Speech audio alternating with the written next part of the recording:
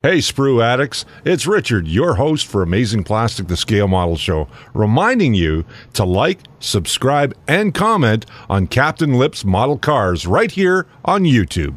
I want to thank Richard Cleveland from Amazing Plastic for the voiceover, and I'd like to thank um, Plastic Plastic 101 for that um, beautiful eye candy on that T-Bird.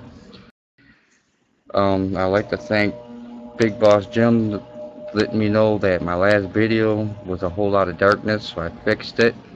Thank you, Big Boss, and thank you also for the beginning of my video and the ending of my video. Thank you guys very much.